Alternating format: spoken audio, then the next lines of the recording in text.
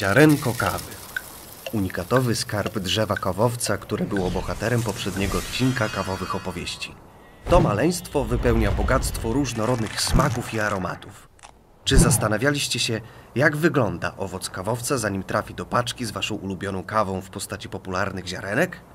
A więc właśnie. Dlatego tematem czwartego już odcinka serii będzie anatomia wiśni kawowca. Usiądźcie wygodnie i pozwólcie przenieść się do mikroskopijnego świata kawy.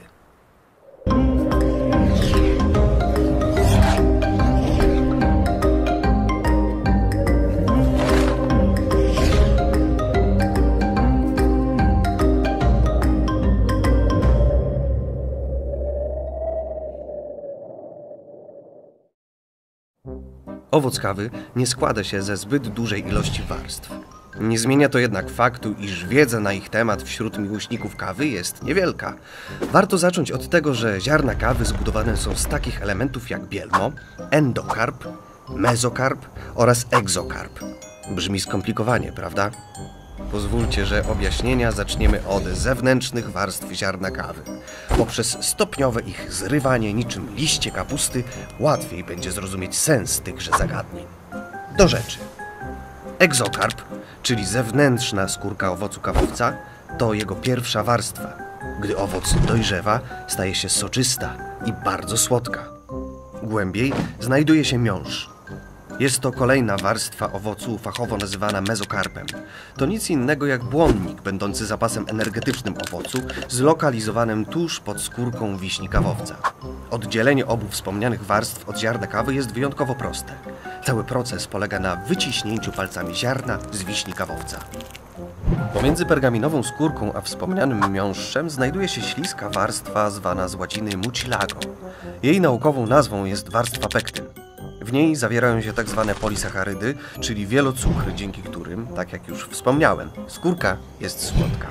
Następnie po oddzieleniu ziaren od skórki i miąższu oraz ich opłukaniu, idąc w głąb struktury owocu, natrafiamy na bardzo ważną warstwę o naukowej nazwie endokarp, a potocznie określaną jako skórka pergaminowa. Rola tej błony jest kluczowa. Jest ona swego rodzaju powłoką chroniącą ziarno kawy. Gdy tylko ziarno zostanie oddzielone od poprzednich warstw, a następnie osuszone, naszym oczom ukazuje się zielone ziarno kawy. W naukowej terminologii owe nasionko jest określane jako bielmo. Ale to nie wszystko.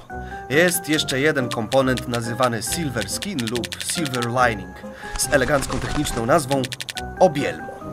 Jest to bardzo cienka, wręcz przezroczysta warstwa, która otacza malutkie nasionko kawy niczym pajęczyna i jest ostatnią warstwą ochronną jeszcze niedojrzałego zielonego ziarna. Zdarza się, że jej pozostałości można dostrzec w bruzdach wypalonych ziaren kawy.